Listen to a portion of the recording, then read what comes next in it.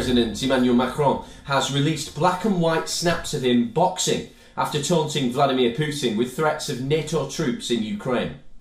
The buff pic seemingly playing to a strongman of Europe image after his recent remarks on the Ukraine war have gone beyond anything said by fellow European leaders.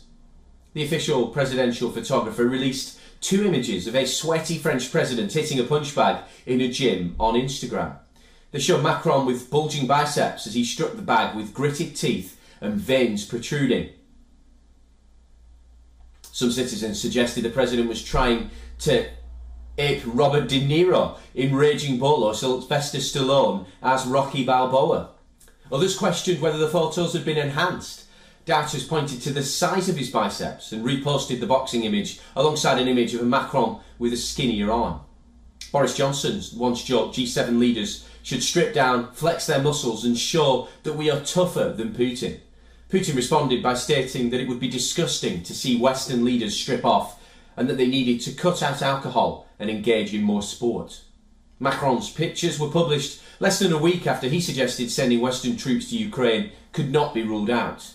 Speaking on French TV last Thursday, he warned that Russia was seeking to extend its power and would not stop now. Macron said, and I quote, if we leave Ukraine alone, if we let Ukraine lose this war, then for sure Russia will threaten Moldova, Romania, and Poland. There's no shortage of photos on the internet of Vladimir Putin flexing his muscles.